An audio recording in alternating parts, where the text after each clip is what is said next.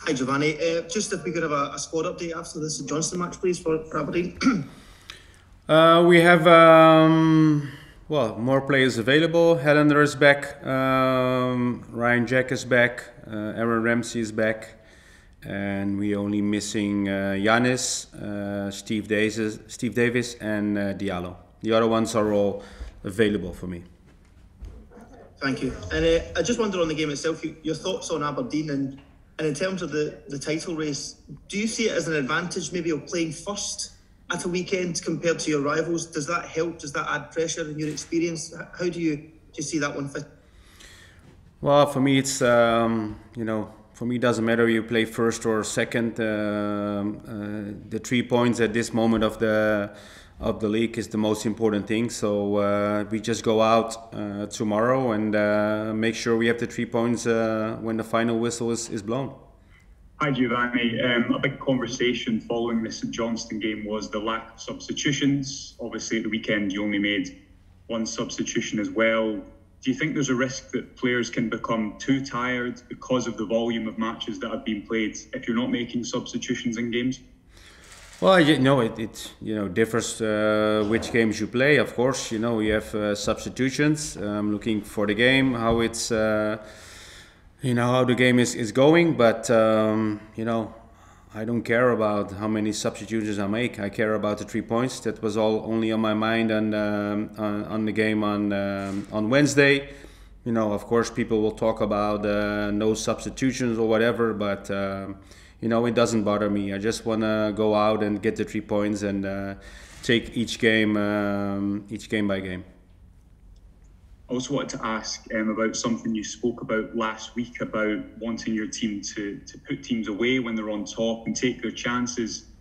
Do you think that perhaps sometimes there's a lack of goal scorer in your front line? I'm thinking specifically of Kemar Roofe and, and Fashion Sakala maybe starting more on the bench than in, in the starting 11 recently.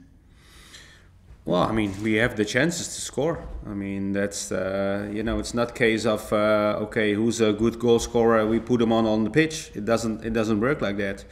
And uh, you have to create chances. Again, on on, on Wednesday we had uh, less chances than, than, the games before, but still big chances to uh, to win by a bigger margin. I think the um, the pitch didn't help our, our game. That was obvious. So uh, in the end, it was just about securing the three points. The club announced this week that uh, they will travel to Australia to play a friendly. There's been a bit of a backlash from some sections of the support. What, what's your take on it? Well, my take is, of course, we uh, we know there's going to be a um, you know a big gap in the, during the World Cup. I know the club is uh, looking for uh, friendly games, uh, not only in that window but also in the international windows we have. And um, I think it's an opportunity for the club to go there, to go uh, uh, to play for our, uh, fans who are based in Australia. And, and of course, the club uh, made a decision to go there. And um, because they, they, they do everything in the, uh, the best interest of the club. So uh, for me, you know, I just have to respect that decision and and play, uh, you know, a good uh, good good couple of friendlies in, in Australia in um, in November. At this point in the season, everything is every game is important for Rangers. Obviously, your league game tomorrow, but you've obviously got the, the big European tie this week. How much of an eye do you have on the game on Thursday going into tomorrow's game?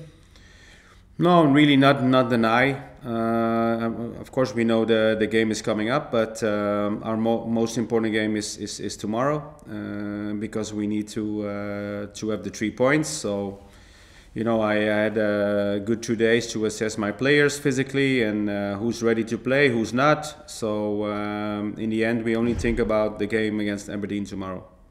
Uh, tomorrow's obviously a, a, momentous day for the football club with the official launch of the 150th anniversary celebrations. Does the party atmosphere and everything that's going around that add any extra pressure or spice to the occasion for you and the players? Uh, no, I don't think so because um, all, all, we've been focusing is uh, is the game against Aberdeen, which is uh, you know of course a special game because it's 150th uh, uh, anniversary which is a special moment uh, for the club. And uh, so, you know, in the end, we are here to uh, to win games and to be successful. So um, the concentration we have uh, and the focus is only on, on winning against Aberdeen tomorrow. There's been a, a bit of unrest this week around the supporter base, around the trip to Australia and various other things. At a time when probably the supporters have to be very closer united as ever in a big title race that's coming to close to an end like this. Do you have a message to the fans going into this very pivotal, important part of the season with nine games to go? Well, the message is clear. I mean, we, we need all the support we have, um, and uh, which which the supporters gave us also on last Wednesday. Of course, they are entitled and uh, to their opinions, which which is which is uh, you know okay. So um, on the other hand, you, you see they weren't happy with the, with the friendly, obviously with the with the, um, uh, when, when you hear them on last Wednesday, but they also supported us. So in the end, you know, we have to be successful.